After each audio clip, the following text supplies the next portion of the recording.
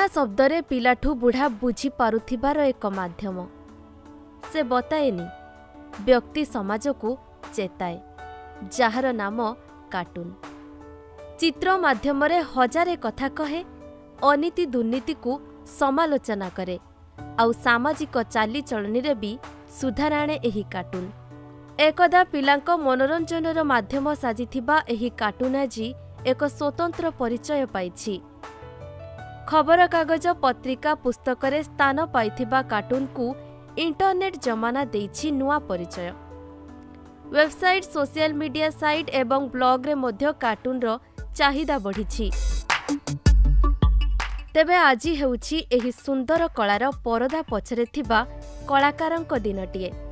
ଅର୍ଥାତ୍ ଆଜି ଜାତୀୟ କାର୍ଟୁନିଷ୍ଟ ଦିବସ ବା ନ୍ୟାସନାଲ୍ କାର୍ଟୁନିଷ୍ଟ ଡେ। ସାମ୍ପ୍ରତିକ ଘଟଣା କିମ୍ବା ରାଜନୈତିକ ମନ୍ତବ୍ୟ କ୍ଷେତ୍ରରେ କାର୍ଟୁନ୍ର ବ୍ୟବହାରରେ ଆଦୃତି ବଢ଼ିଛି। ଅନେକ କାର୍ଟୁନିଷ୍ଟ ମଧ୍ୟ ସାମାଜିକ ଚାଲିଚଳଣୀର ପରିବର୍ତ୍ତନରେ ଆଗେଇ ଆସିଛନ୍ତି। ଏହି କଳାକାରଙ୍କ ମଧ୍ୟରୁ ପାରଳା ଖେମୁଣ୍ଡିର ମୁର୍ମୁରୁ ଶେଖର ଅନ୍ୟତମ। ମୁଁ ହାଇସ୍କୁଲ ପାଠ ପଢ଼ିଲା ବେଳକୁ ଟେନ୍ଥର ସେଦିନଠୁ ମୋତେ ଟିକେ ଇଣ୍ଟରେଷ୍ଟ ଲାଗିଲା। ସବୁ ବିଭିନ୍ନ ମ୍ୟାଗାଜିନ୍ ଦେଖିଲା ପରେ ଆଉ ସେଦିନଠୁ ପ୍ରାକ୍ଟିସ୍ କରୁଥିଲି। ଏଇଟି ଥ୍ରୀ ନାଇନଟିନ୍ ଏଇଟି ଥ୍ରୀରେ ଗୋଟେ କାର୍ଟୁନ୍ ପବ୍ଲିଶ ହେଇଥିଲା ସେତେବେଳେ ମୁଁ ଇଣ୍ଟରମିଡ଼ିଏଟ୍ ପଢ଼ୁଥିଲି। ସେଇଟା ଦେଖି ମୁଁ ବହୁତ ଖୁସି ହେଲି। ୱାର୍ଲଡ କାର୍ଟୁନିଷ୍ଟ ଡେ ଉପଲବ୍ଧି ଏ ପାଞ୍ଚ ତାରିଖରେ ଆମେ ସମସ୍ତ କାର୍ଟୁନିଷ୍ଟକୁ ଧନ୍ୟବାଦ ଜଣାଉଛି। କଲେଜ ପଢ଼ା ସମୟରୁ କାର୍ଟୁନ୍ ପ୍ରତି ତାଙ୍କର ଆଗ୍ରହ ବଢ଼ିଥିଲା। ବିଭିନ୍ନ କାର୍ଟୁନ୍ ପ୍ରସ୍ତୁତ କରିବା ପରେ ଏହାକୁ କିଭଳି ଲୋକଲୋଚନକୁ ଆଣିବେ ସେ ନେଇ ଚିନ୍ତାରେ ଥିଲେ।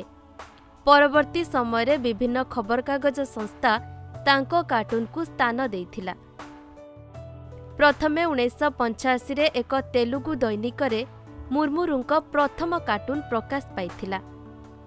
ପୋଲାଣ୍ଡରେ ପ୍ରକାଶ ପାଇଥିବା କାର୍ଟୁନ୍ ପୁସ୍ତକ ଏବଂ ୟୁଟ୍ୟୁବରେ ଏକମାତ୍ର ଭାରତୀୟ ଭାବେ ମୁର୍ମୁରୁଙ୍କ କାର୍ଟୁନ୍ ସ୍ଥାନ ପାଇଛି। ପୂର୍ତ୍ତ ବିଭାଗରେ କାର୍ଯ୍ୟ କରିବା ପରେ ମଧ୍ୟ ଏ କଳାଠୁ ଦୂରେଇ ନାହାନ୍ତି ମୁର୍ମୁରୁ। ହଁ ବାହାର ପ୍ରାଇଜ୍ ପାଇଲେ ସେଇଟା ବହୁତ ଖୁସି ଲାଗେ। ସମସ୍ତଙ୍କୁ ଆସିକି ଖୁସିରେ କହନ୍ତି। ଆଗାମୀ ଦିନରେ ତାଙ୍କେ ଆହୁରି ତାଙ୍କେ ବହୁତ ପୁରସ୍କାର ପାଆନ୍ତୁ ତାଙ୍କର ନାଁ ରହୁ ବୋଲି ଆମେ ଦେଖୁଛୁ। ସେ କର୍ଟୁନ୍ସର କ'ଣ ହେଲା ତାର କର୍ଟୁନ୍ସ ସବୁ ନ୍ୟୁଜ୍ ପେପର୍ସରେ ମିଡ଼ିଆସରେ ସବୁ ଏକ୍ଜିବିସନ୍ସରେ ଏତେ ଗୁଡ଼ାକ ସେ ଯାଇଛି ସେ ବହୁତ ଡେଭଲପ୍ ପାଇଛି ଆମେ ଗଜପତି ପିଲା ବୋଲକରି ଆମେ ଟିକେ ପ୍ରାଉଡ୍ ଫିଲ୍ କରିବାର ଅଛି ତା ପାଇଁ। ତେବେ ସମାଜ ସଂସ୍କାରରେ କାର୍ଟୁନ୍ର ମହତ୍ତ୍ୱ ଯଥେଷ୍ଟ ରହିଛି। ତଥାପି ଆମ ରାଜ୍ୟରେ କାର୍ଟୁନ୍ର ଚାହିଦା ଏତେଟା ନାହିଁ। ତେଣୁ ଏହାକୁ କିଭଳି ଆଗକୁ ନେଇହେବ ସେ ଦିଗରେ ପ୍ରୟାସର ଆବଶ୍ୟକତା ରହିଛି। ଗଜପତିରୁ ହରିହର ପଟ୍ଟନାୟକଙ୍କ ରିପୋର୍ଟ ଇଟିଭି ଭାରତ।